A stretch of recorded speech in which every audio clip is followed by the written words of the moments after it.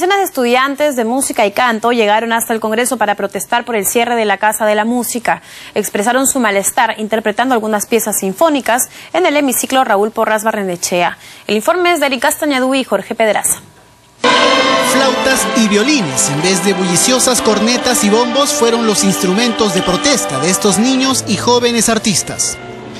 El motivo de su reclamo fue la reciente decisión del Ministerio de Educación de trasladar la Casa de la Música a otros cinco locales que estarían al interior de colegios, lo cual derivaría en el cierre de su sede situada en Miraflores.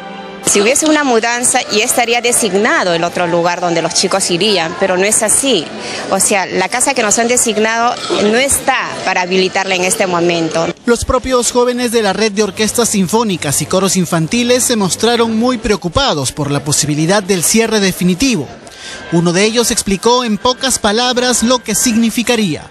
No tendríamos dónde ensayar, ¿no? Y, y la orquesta se desarmaría todo. Para que no quede duda de su talento y desarrollo artístico, interpretaron algunas piezas musicales en el hemiciclo Raúl Porras Barrenechea. Los congresistas Daniel Mora y Luciana León les mostraron su apoyo.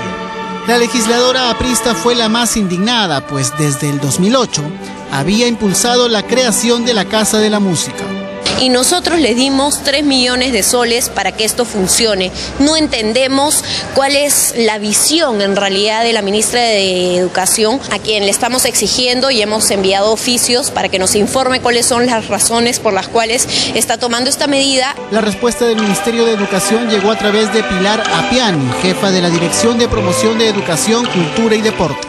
El proyecto en ningún sentido se está cerrando, repito, eh, y al contrario, estamos ampliando cobertura, capacidad de convocatoria, estamos fortaleciendo un servicio descentralizado, estamos acercando el servicio a la comunidad porque nos estamos poniendo en distintas zonas de la ciudad.